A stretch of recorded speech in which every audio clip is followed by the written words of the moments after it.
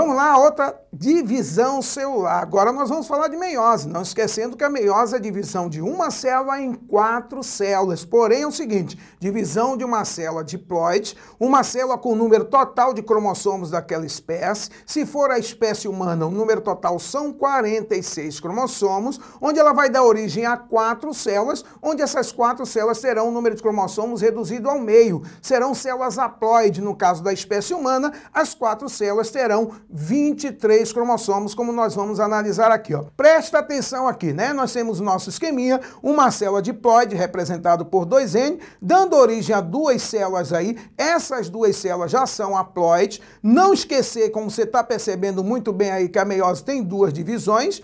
Divisão 1, onde uma está dando origem a duas, que nós chamamos de reducional, e a divisão 2, onde duas estão dando origem a quatro. Tu percebe que essas duas primeiras células da divisão divisão reducional, onde a célula diploide está dando origem a duas, tem um número de cromossomos reduzido ao meio? Sim, mas os cromossomos ainda estão duplicados. Eles vão estar em forma de X, como nós vamos ver no esquema posterior. Já você percebe na divisão equacional, onde as duas estão dando origem a quatro, nós vamos notar posteriormente que essas quatro células terão o número de cromossomos reduzido ao meio, só que de forma simplificada. Não esqueça disso, isso é uma importância da meiose que os livros não trazem, né? Por que, que a meiose tem que dar origem, uma dando origem a quatro? Por que, que a meiose tem que ter duas divisões? Primeira divisão reducional, segunda divisão equacional. Sabe por quê? Para tornar os cromossomos de forma o quê? Simplificado, não esquecer desse detalhe. Vamos ver agora as importâncias da meiose. Vamos lá, viaja comigo aqui nas importâncias. Primeira importância da meiose, você está vendo aí, é justamente a formação dos gametas. Então você percebe ali os dois indivíduos adultos com 46 cromossomos, mas você percebe ali o espermatozoide com 23 e o óvulo também, nós teremos 23 cromossomos ali, certo? Então você percebe que a primeira importância da meiose é justamente o quê? Formar gametas. Então valor para você, formação de gametas, não esqueçam em pensar na divisão celular por meiose. Vamos ver a outra importância?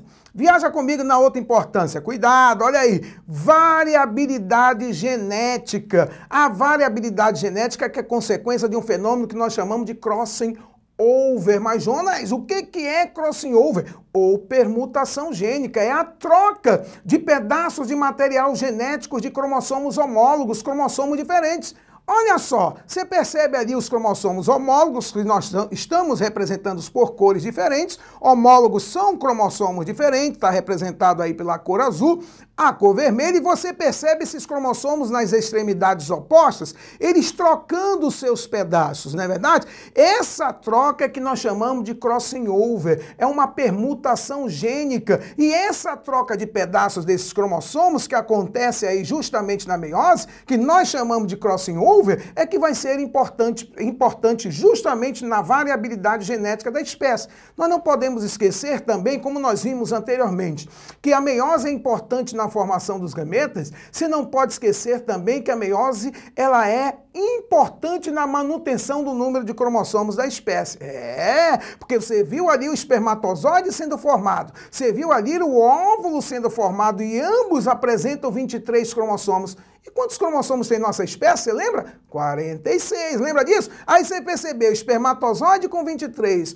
óvulo com 23, quando ocorre o processo da fecundação formando uma célula chamada de ovo ou zigoto após a anfimixia, após a cariogamia, que é justamente a fusão dos núcleos dos gametas, quando esses núcleos se fundem, vamos fundir 23 com 23, vai dar uma célula com 46, idêntica à dos indivíduos adultos. Então, uma outra importância da meiose é justamente a manutenção do cromossomos, justamente da espécie.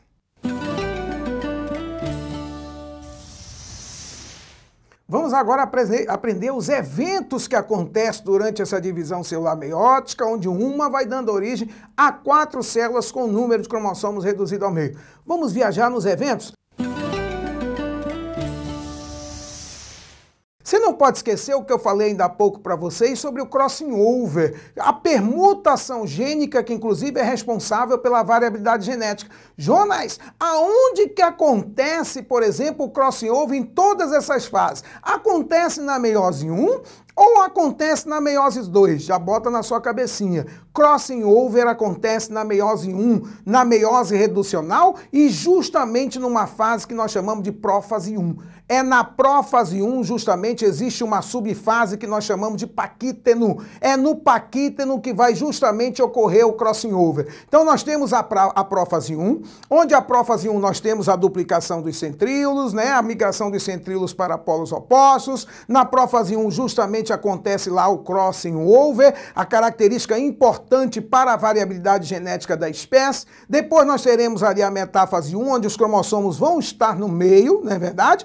Nós nós teremos a anáfase 1. Agora, cuidado aí no esqueminha. Você percebe que na anáfase 1, o que nós temos aí é o quê? A migração dos cromossomos homólogos. Sabe por quê? Porque lá na metáfase 1, os cromossomos estão no meio, só que eles estão pareados, tá ok? A gente vê, percebe essa característica importante na metáfase 1, que os cromossomos estão no meio, na placa equatorial, mas eles estão pareados, homólogos estão um ao lado do outro. Como eles estão na metáfase 1, um ao lado do outro, quando chegar na anáfase 1, os homólogos eles serão puxados para polos opostos. E nós teremos ali a telófase, onde você sabe muito bem que na telófase nós teremos aí formação de duas células. Você já nota muito bem que essas duas células têm um número de cromossomos reduzido ao meio em relação à primeira. Você pode perceber no nosso esqueminha em que na primeira nós temos dois cromossomos e ali na telófase, cada célula originada nós teremos apenas um cromossomo, como você está percebendo muito bem ali, certo? E aí nós teremos, temos justamente as características da meiose 1. E agora nós temos a meiose 2. Para resumir, para ficar bem mais fácil aí para você, não esqueça o seguinte: todos os eventos que acontecem na meiose 2 são eventos semelhantes a de uma mitose. Vamos lembrar para vocês? Na prófase, duplicação dos centríolos, migração dos centríolos para polos opostos, formando fuso, desaparecimento da carioteca, desaparecimento do nucleolo. Então tu percebe que os eventos que ocorrem na prófase 2 são idênticos aos eventos que ocorrem na prófase de uma mitose. Depois nós temos na metáfase 2, só você comparar o esqueminha da metáfase 2 com a metáfase 1, que na metáfase 2 você nota que os cromossomos vão estar de forma linear né? Eles vão estar ali de forma linear, eles já não vão estar apareados, tá beleza? Então não esqueçam desse detalhe que é importante. Então, se eles vão estar de forma linear, não vão estar apareados, na anáfase 2, se você fizer uma comparação com a anáfase 1, você percebe que na anáfase 2 o que acontece é a migração das cromates irmãs. Cuidado com isso, não esqueçam disso em sua qualquer prova, qualquer concurso que você possa fazer. Não esqueçam um detalhe, na anáfase 1 o que você tem é migração de cromossomos homólogos e na anáfase 2 o que você tem é migração das cromates irmãs. Então as cromátides irmãs elas são separadas somente na anáfase 2 se ele estiver se referindo a uma meiose.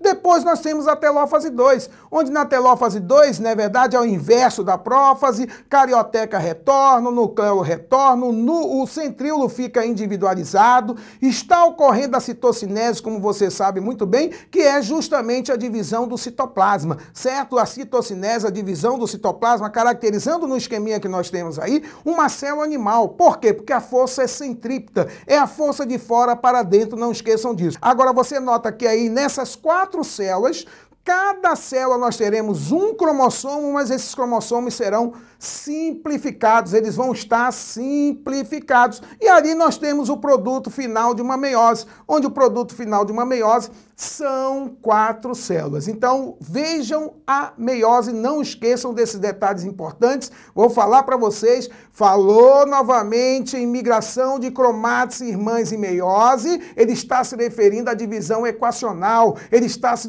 referindo à meiose 2. Mas se ele falar sobre meiose para você num texto, mas se ele caracterizar que nesta meiose está ocorrendo migração de cromossomos homólogos, os cromossomos são puxados de forma duplicadas para polos opostos, não tenha dúvida que aí ele está se referindo à meiose reducional, que é justamente a meiose 1.